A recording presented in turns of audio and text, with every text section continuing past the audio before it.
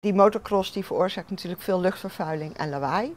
Dus uh, in onze ogen past dat niet zo goed bij de leefbare schone stad. En van de andere kant hebben we ook het ruimtevraagstuk.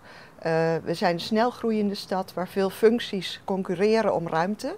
Nou, dan is het ook goed om van tijd tot tijd eens te kijken uh, wat hebben we in de stad en welke, welke functies moeten we nog meer ruimte geven en hoe maken we dan die afweging. Wij hebben als vereniging nooit gezegd dat je ons niet hoort, maar alles is binnen de wettelijke normen.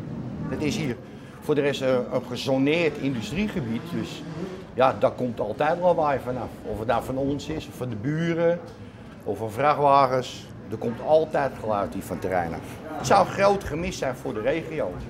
We voorzien toch enige, we hebben zelf ruim 250 leden. En er komen op jaarbasis toch hier wel duizenden crossers rijden. En de vraag staat of we in stappen de motocross uh, kunnen verduurzamen. Uh, of we kunnen naar een elektrificatie van de motocross. Zodat in ieder geval dat stuk van luchtvervuiling en geluid een heel stuk opgelost is. We hebben nu ook al elektrische motoren rijden. Dat is niet speciaal. Dat, dat gaat ook groeien in de toekomst. 100% elektrisch is niet. Uh... Dus zouden we de enige vereniging in, in Nederland zijn die alleen elektrische crossmotoren toelaat. Wat zou dat dan betekenen voor jullie?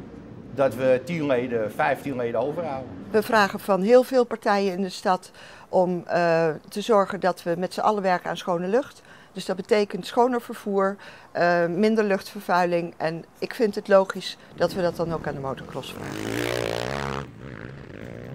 Als wij hier weggaan, dan komt hier een bedrijf wat vijf, zes, misschien wel zeven dagen in de week lawaai en stof produceert.